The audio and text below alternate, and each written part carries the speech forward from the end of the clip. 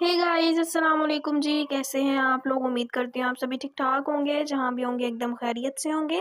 तो आज के एक नई वीडियो में आप सभी को अपने चैनल पर खुश आमदीद कहती हूँ।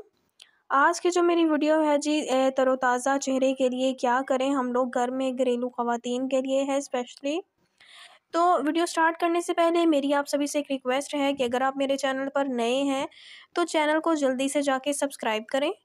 वीडियो को लाइक कर दीजिएगा कमेंट कर दीजिएगा।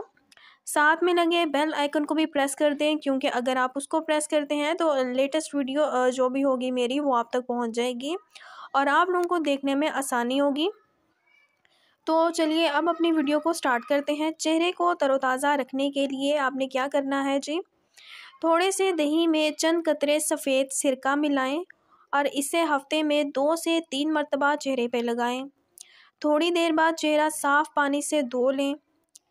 इस अमल से चेहरा तरोताज़ा हो जाएगा और इस पर एक चमक आ जाएगी।